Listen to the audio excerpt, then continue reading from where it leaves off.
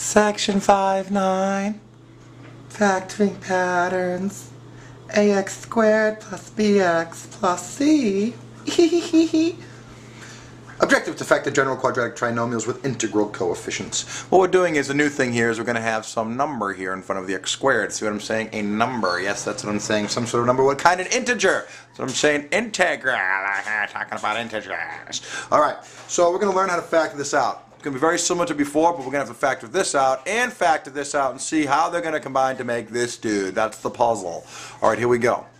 The key to factoring, always, always, to factor in trinomial is to look at the sign of the constant term. When it's negative, you know the factors will have different signs.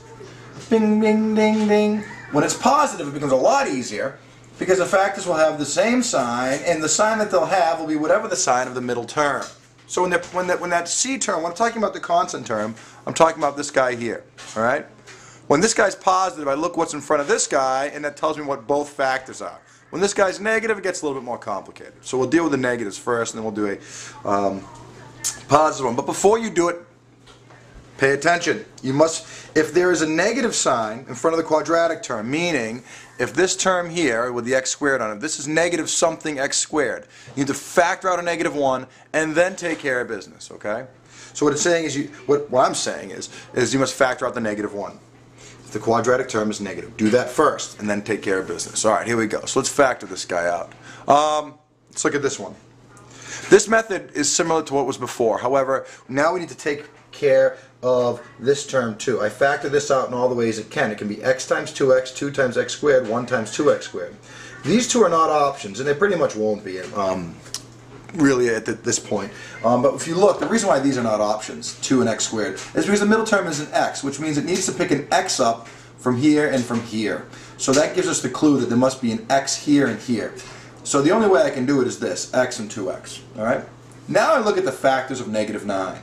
Um, I know what they are. Um, when I'm doing these things, I need to do the complete u, meaning we used to just stop, do 1 times 9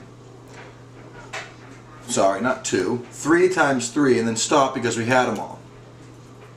I need to keep going up until I get that 9 times 1, right? And I need to write this twice because this is negative 9. I don't know if my negative is here, and I don't know if my negative is here. So I need to make sure I list it both ways, okay? Does that make sense? All right, cool. So now I check. What I need to do is I'm gonna. There are one, two, three, four, five, six possibilities because there's only one possibility for this first term. So I write it. Um, I fill this in. I know the first term's x, 2x, and I'm not. I'm just not sure about this. Which pair of these is going to make my 7x? So I put them all in. Plus 9 minus 1. Or my, whoops, minus 1 plus 9. It doesn't matter, but I'm just going to try to keep it like here. So minus 1 plus 9 minus 3 plus 3 minus 9 plus 1 plus 1 minus 9 plus 3 minus 3 and plus 9 minus 1. And which of these will give me that 7x? So I look. Negative 2x and plus 9. Oh, look how nice that is. It ends up being the first one. But notice, none of these ones will work. Negative 6x and 3x, negative 18x and, and 1x, 2x and negative 7, I mean negative 9, 6x and negative 3, 18x and negative 1. The only one that works is this one, but you do check them all, all right? So there it is. So what's it going to look like? There, I'm done. Let's try it again. Look how it is when we have a positive. When it's positive, it becomes a lot easier, a lot easier, man.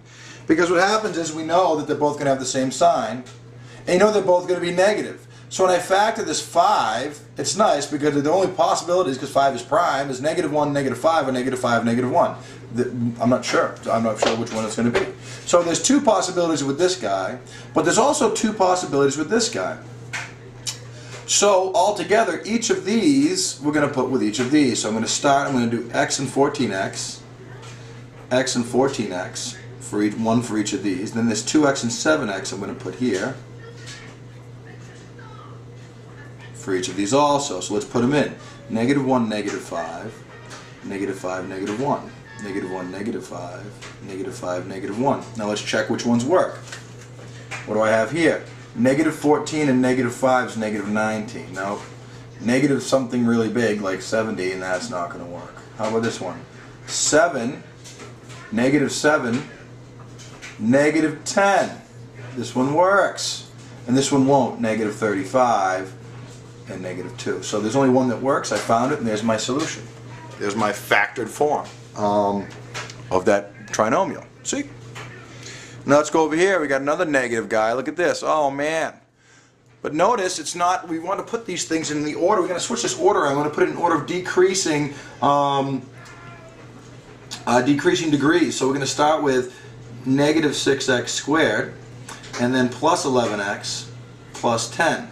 Now remember the rule. Oh, and notice, remember that we don't want this to be negative, so I'm going to factor a negative 1 out and rewrite it as 6x squared minus 11x minus 10. Right? So now I look, what are my factors of 10? What can they be? Well, here's my 10. I can write it as 1, 10, 2, 5, not 3, 4, 5, 2, and 10, 1. So that's, I went all the way around.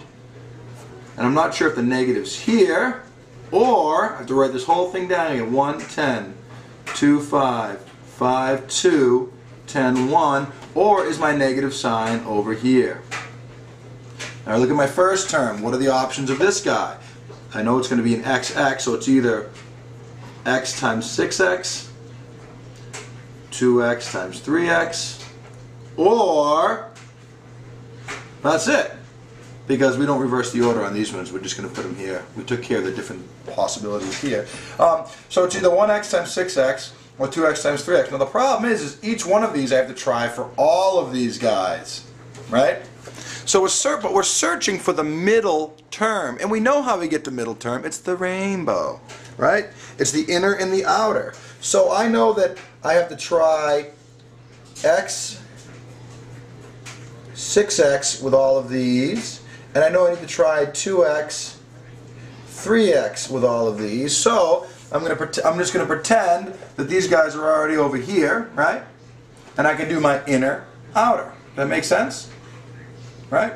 So my inner is going to be this, because if that negative 1 came over, it would be here. My, this 10 would be here. So I say, all right, let's see. Negative 6 and 10 doesn't work. Negative 12 and 5 doesn't work. I want a negative 11. Negative 30 and 2, no. Negative 60 and 1, no. Right here.